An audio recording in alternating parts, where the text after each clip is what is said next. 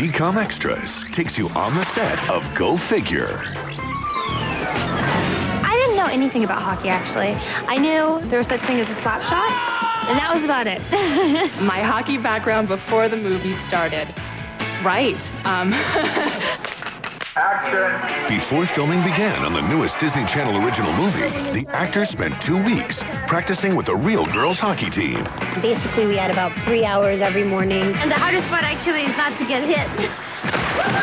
The girls were taught all of the basics skating, shooting, and stopping. hockey stop. Very important. We had a lot of different drills. Go, go, go, go, go! Going to line. Now go, right, right! Going to the next line. Get hard, get hard! And so forth, all the way down the hockey rink until you pass out. Get up, get up, get up, get up! I was exhausted. I think it was only noon, and I'd go home and take a nap. Excellent. Now I just think I'm a much better player. It was just tiring, but it was great. I loved it. The camaraderie that we got after those two weeks of struggling, of, you know, falling over. That was great to have bonded so much with the other cast members before the movie started.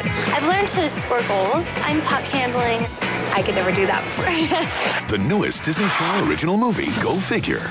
Opening next month on Disney Channel.